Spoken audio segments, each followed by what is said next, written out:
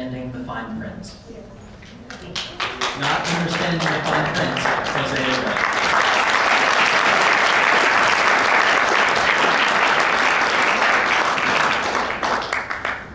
Mr. Toastmaster, fellow Toastmasters and guests, have you ever entered into an agreement and you just didn't understand the fine print? There's someone seated across from you. They're offering you the opportunity of a lifetime. All you hear is blah, blah, blah, blah, blah, blah, blah. Rather than say, I think I got it, I think I understand it, but just in case I don't, can you repeat the whole thing over? I wasn't paying attention. We kind of just smile and wave, don't we?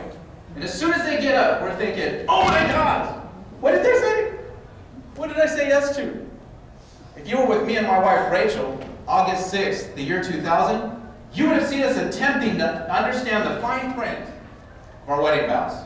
the reason why I say attempting is because we were married by a priest who was way up in years, who may have had way too much to drink during the communion services that day.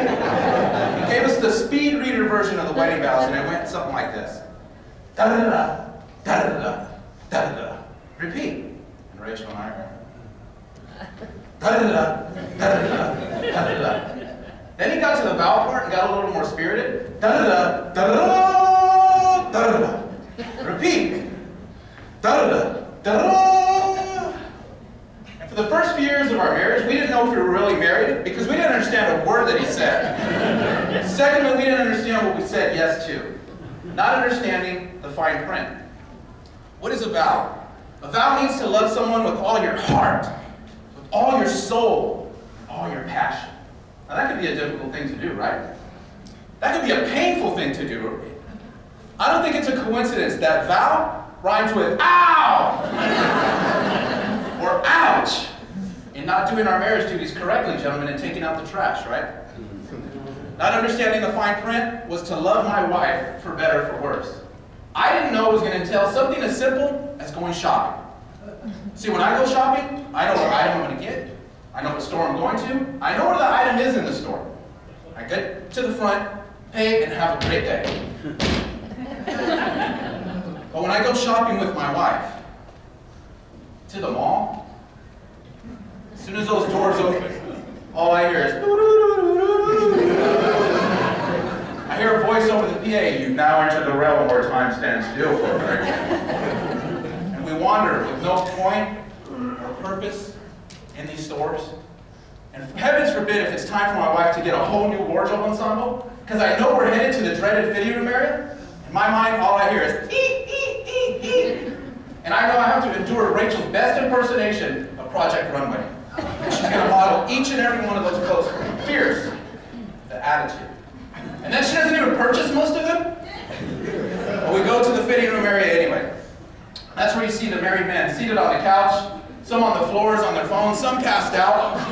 Maybe they shop till they drop, maybe it's self-medication, it's hard to tell at that point. But I'll begin to ask the gentlemen around me, how old are you in for? Because when you go shopping with your spouse to the mall, it's almost like a prison sentence. And you're trying to be a good little boy to get out on good behavior. So you go to that one manly store that we can go to, right guys? Whether it's Brookstone, the cigar shop, the bar in Dave & Buster's. And I don't even drink, but it almost drives me to. Asked the first gentleman, sir, how long have you been here? Two hours, two hours, good lord. Ask another gentleman, sir, how long have you been here?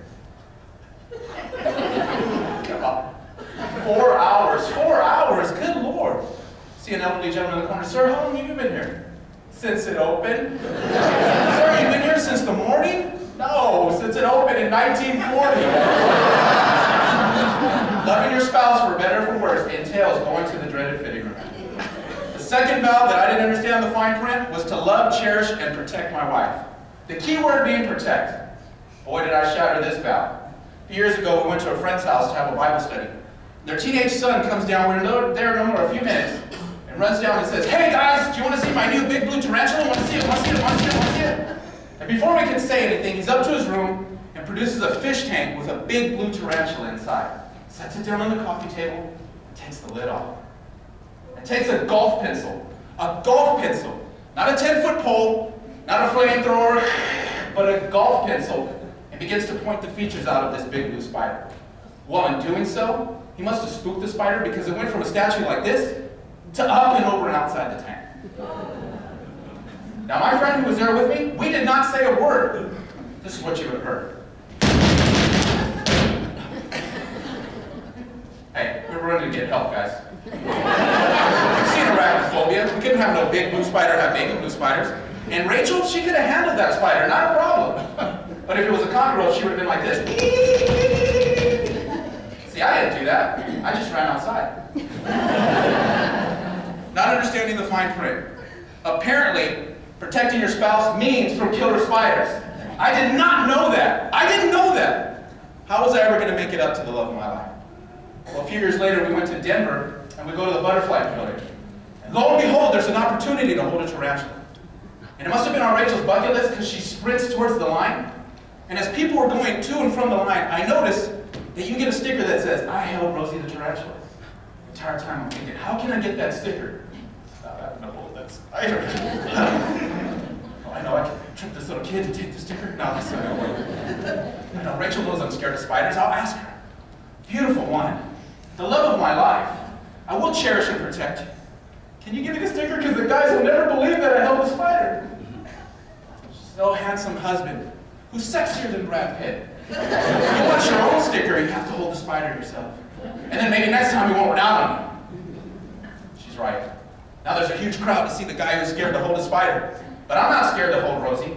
I'm gonna hold Rosie, I'm gonna hold her right now. I'm not scared. I'm not scared at all. I'm not scared. Okay, come on. A four-year-old little girl just held her. Come on. I can hold Rosie, I can hold Rosie. Ah, the leg touched me, it touched me. Oh my God, the leg touched me. but just so you know, I didn't run around like a little girl the entire time. I brought photo evidence that I held Rosie the tarantula. There it is. Now this shows what guilt and shame will do as a motivator, what peer pressure will do, and the lengths you'll go to make it up to the love of your life. Rachel and I have been married the last 15 years. We've been through the good, the bad, and the ugly of our marriage. How were we able to get through? Maybe we didn't understand the, what the drug priest was saying. Maybe we didn't understand the fine print. But when we argue at times, and we do, I always get the last word. Yes, Rachel. Yes, Rachel.